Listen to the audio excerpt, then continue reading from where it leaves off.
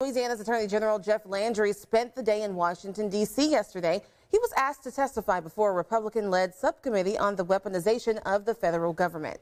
The committee looked at allegations that the Biden administration violated the First Amendment by directing social media companies to censor some posts. There's very limited ways under which, or reasons, that are good enough for suppressing an American's First Amendment rights.